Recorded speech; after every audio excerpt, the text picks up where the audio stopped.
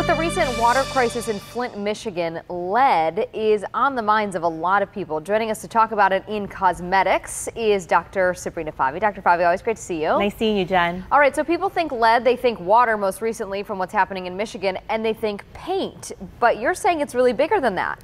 Yes, so recently the FDA actually issued a warning on this bentonite baby. It's essentially this clay or medicinal clay uh, that has been brought to attention because of the potential for lead poisoning.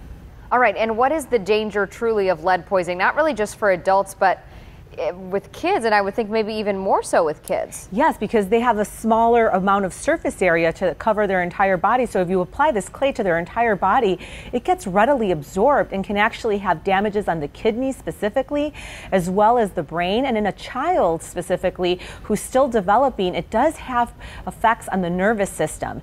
And it could lead to some confusion, uh, could lead to anemia, trouble sleeping, headaches, irritability, low appetite, overall fatigue. Yeah, it's interesting you're talking about this one product, and we and I want you to talk in a second about cosmetics in general. It's interesting the USDA U.S. Food and Drug Administration regulates food products, right? When we see organic food.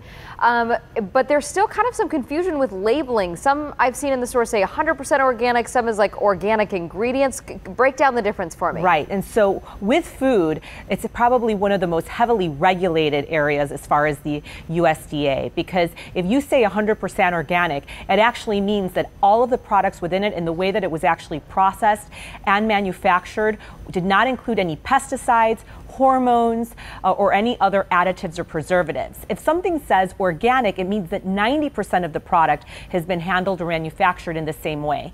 If someone or something says made from organic products, that means that 75% of the products included in that particular product are made from organic ingredients. Hmm. Now, if something says natural or sustainable, those are words or grass fed. These are common words that we're seeing more and more, and these are words that are not FDA approved or not regulated by the USDA. Right, and that's where the cosmetics come in because I know you and I have talked before, the cosmetic industry really isn't regulated. Exactly, and so they're trying their hardest. The USDA is working more and more feverishly to try to come up with some type of standards, but as you know, this is an area that's booming and growing and hard to regulate, and because of it, it's a it's an industry that's actually taking advantage that no one's regulating. And so you could be 100 you can state 100% organic, but that means nothing. Mm-hmm. There are mm-hmm. some products that claim 100% organic because they're made up of 90% water, but most shampoos are created by 70% water. So you might as well just say 70% organic and you would not be lying. Right. And so that's slightly concerning because if you rub poison ivy all over yourself, that's organic, but that doesn't necessarily mean that it's good for you. Right. I love that. You use that analogy a lot, and I really like it because it's so appropriate in so many things. Um,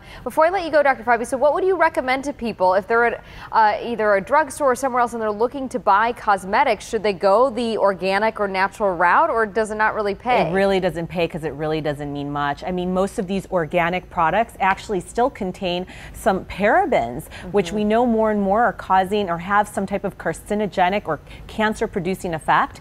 And so really it's learning more what these words mean so that you can apply it across the board. Yes, it's going to take a little bit of time to do your research, but until you've taken some time, ultimately this is your health. This is what you're applying on your skin and your skin is one of the lar- it is the largest organ of your entire body. And so your health matters. It's worth taking the time. Yeah, definitely is. And I hope at least uh, one day the USDA or at least some other federal government organization starts to at least look at it and do some regulation because as you said, it's kind of running rampant right now. Dr. Fabi, thanks for being here. Thanks for having me, Jen. All right, let's take a look at our website.